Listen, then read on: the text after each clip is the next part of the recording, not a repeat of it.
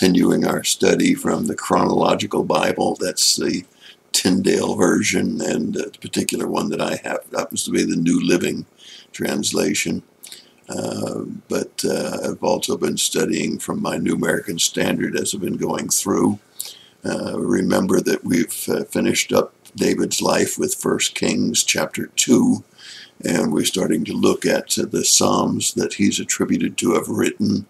Um, uh, about 73 Psalms, 72 Psalms that he's uh, been attributed to have written, and we've uh, studied some during the time that we were studying Second Samuel. Uh, but we left off with uh, Psalm 34 last yesterday, and uh, we're going to continue. But I thought this was a good place to say that as I've been looking at this Living Translation, uh, they have markings called interludes, and the interludes are really the same thing as Selah, uh, S-E-L-A-H, uh, which is a pause or a silent period. Um, as John Phillips says, it's a time for the reader to say to themselves uh, that the writer would have been saying, what do you think about that? So it's a time to meditate or to think about what the writer has just said and not to move on until you've meditated on what he's just said. I think that's a good explanation for it. And we also talked about superscripts, that is, some of the information above the psalm uh, that is found in many of the study Bibles. And uh, we don't know exactly when those and some of the other notes for psalms uh, were added to the Psalms or whether they were there from the very beginning. Uh, remember, the Psalms were written over a long period of time, uh, and a collection of Psalms uh, uh, represents time from 1410 BC all the way down to 430 BC. And of course, David's Psalms would have been between 1011 and 971 uh, BC. So we we have a long period of time, and these could have been added, or they could have been the original notations. Uh, but uh, we know that they went back as far as the Aleppo uh, Codex of 930 AD. That's a thousand years after Christ. So we, we know they were there a thousand years after Christ uh, on the Psalms. There's a number of other terms that, uh, besides the interlude or selahs, and the superscripts at the beginning of the Psalms that you may have in a study Bible. And uh, those are like Alamoth, um, Maskil, um, uh, Shemeth. Uh, uh, many of these notations are like a soprano was to sing, um, or this was a harvest song, or uh, this was to be played with um, stringed instruments. Uh, and so you may see a bunch of other words uh, that uh, are there. Most of them are just telling you how it's to be played, how it's to be sung, with what instruments it's to be sung. And you can look up those words individually. They're well covered uh, in any study Bible, or you can Google them and find out uh, exactly which ones mean what. But uh, uh they're all instrumental in in uh, helping you to understand the Psalms and what the words are alongside of them. For example, one it actually indicates it's to be played or done like dirge, slow and and moody kind of a sound. So uh, they're there to help those that we're to sing and play these during worship, and that's exactly what the Psalms were intended to.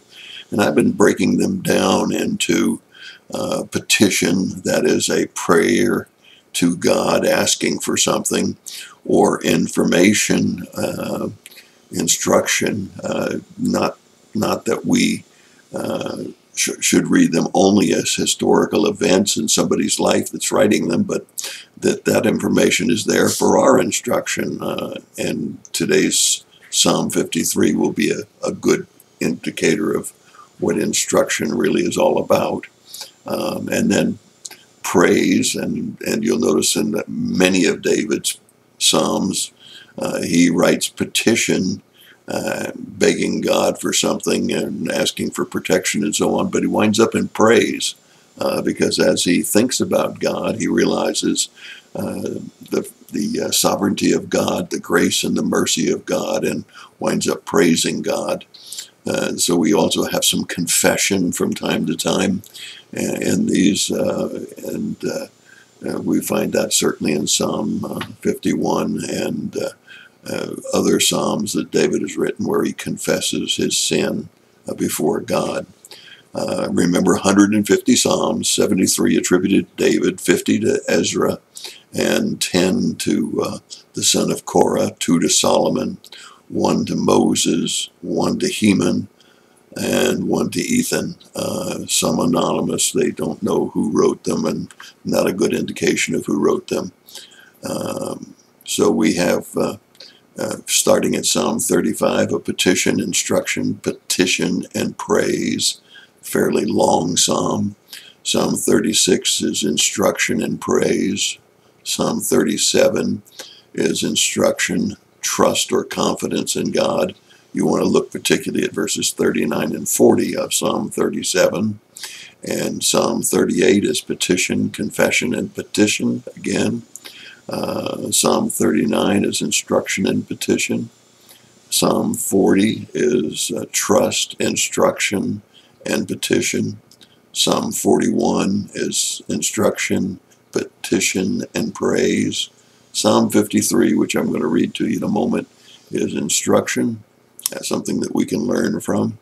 And Psalm 58 is instruction, and uh, it's uh, to be done to the tune of do not destroy, although uh, we we don't have the tune for do not destroy anyway, but that's that was instruction for them as to how it was to be played.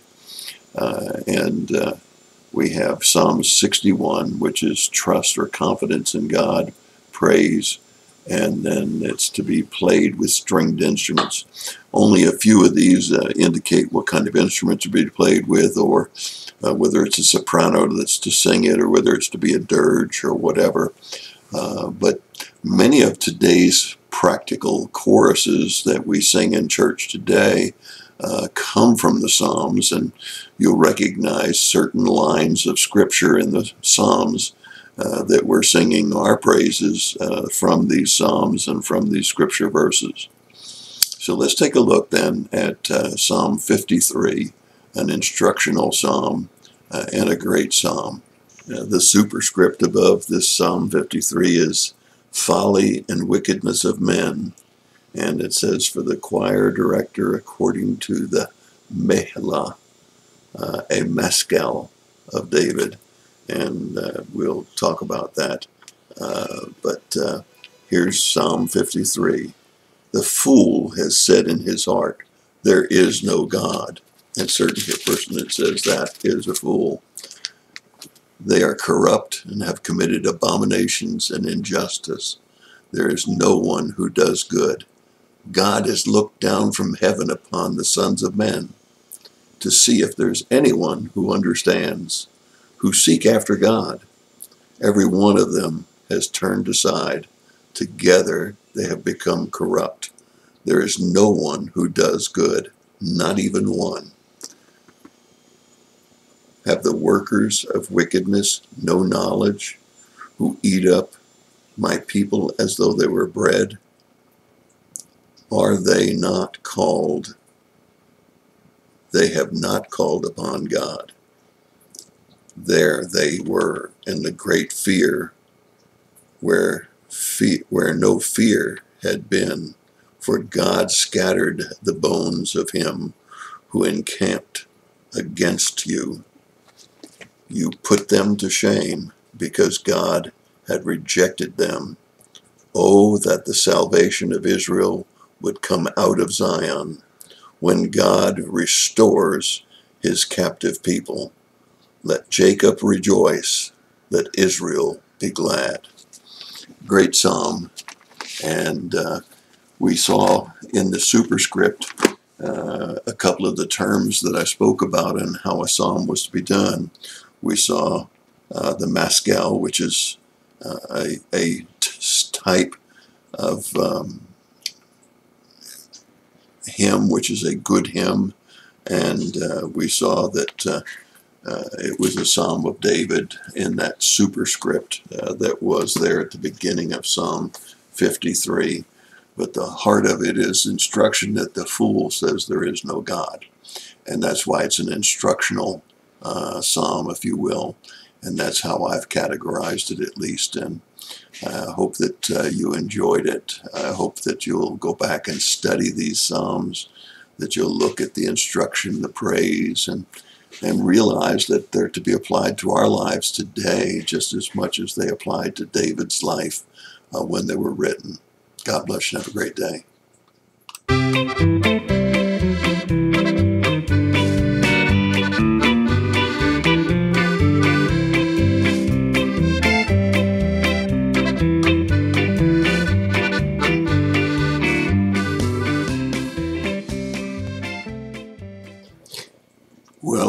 Want to dwell in the house of the Lord forever, you need to be sure that you're going to heaven so you can dwell in the house of the Lord forever. And that's easy. That's just admitting that we're all sinners and fall short of the glory of God, and that we want to turn from sin and self and turn to Jesus alone, who lived, who died, and paid the price for our sin. And he became the payment for our sin if we would believe in him and trust in him repent from our sin. It tells us in the scriptures very clearly the wages of sin are death, but the gift of God is eternal life through Jesus Christ. And we can have that by confessing with our mouth and believing in our heart that God has raised him from the dead, that he has the power over death, and that there is literally a place called heaven where our soul can spend an eternity with him. I hope that you'll do that if you've not already done that. And that's my thought. God bless you.